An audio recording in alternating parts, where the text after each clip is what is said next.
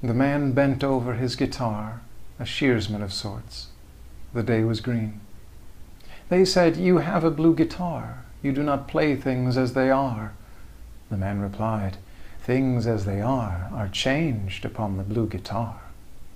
And they said then, But play you must, a tune beyond us, yet ourselves, a tune upon the blue guitar of things exactly as they are.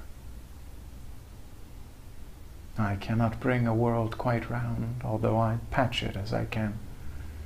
I sing a hero's head, large eye and bearded bronze, but not a man, although I patch him as I can, and reach through him almost to man.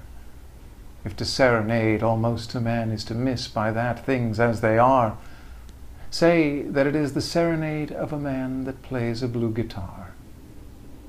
Ah, but to play man number one, to drive the dagger in his heart, to lay his brain upon the board and pick the acrid colors out, to nail his thought across the door, its wings spread wide to rain and snow, to strike its living high and ho, to tick it, tock it, turn it true, to bang it from a savage blue, jangling the metal of the strings.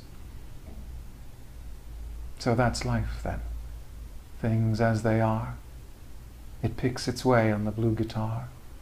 A million people on one string, and all their manner in the thing, and all their manner right and wrong, and all their manner weak and strong.